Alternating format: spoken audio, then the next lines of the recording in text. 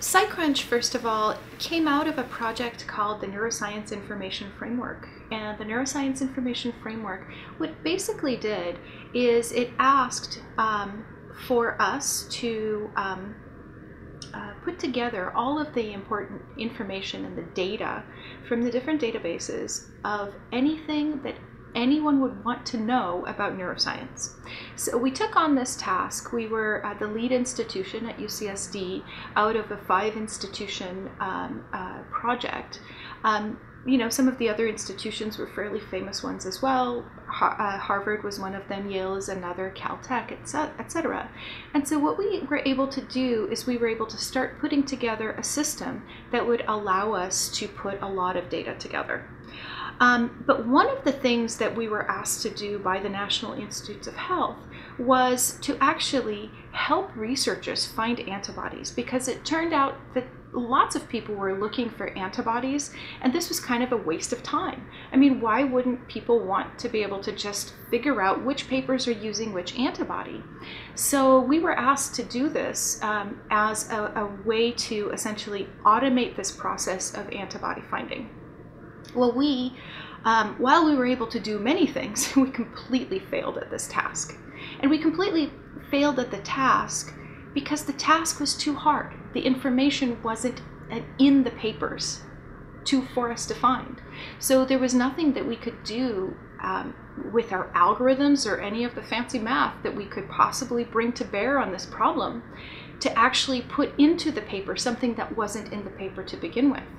So that's what actually started us uh, trying to think about what are the ways that we could actually get journals to include additional data so that would help um, actually not only us to you know do this this text mining task but also help other readers of those papers to find the, the antibodies and, and that grew into all other kinds of research resources. So the mice the flies um, the cell lines um, and of course antibodies and software tools. Those are all the things that people were looking for that they couldn't find. They couldn't readily identify.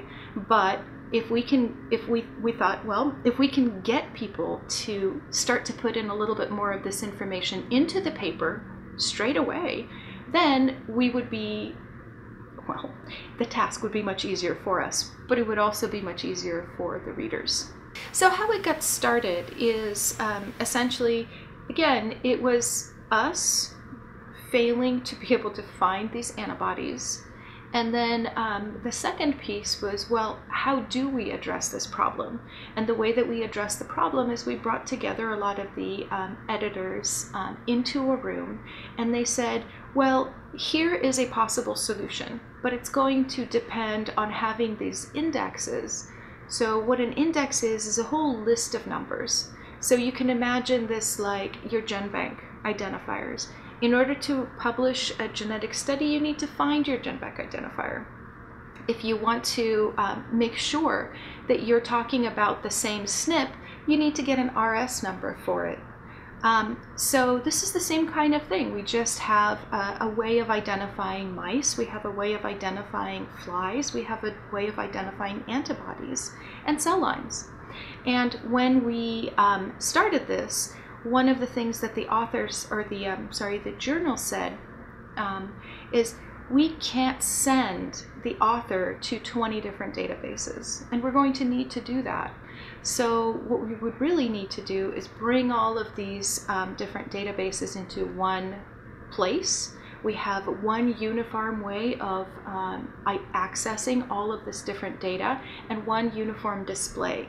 So with our experience in the neuroscience information framework, we were able to very quickly create a portal that would be able to actually do this and allow people to search across all this different kind of data.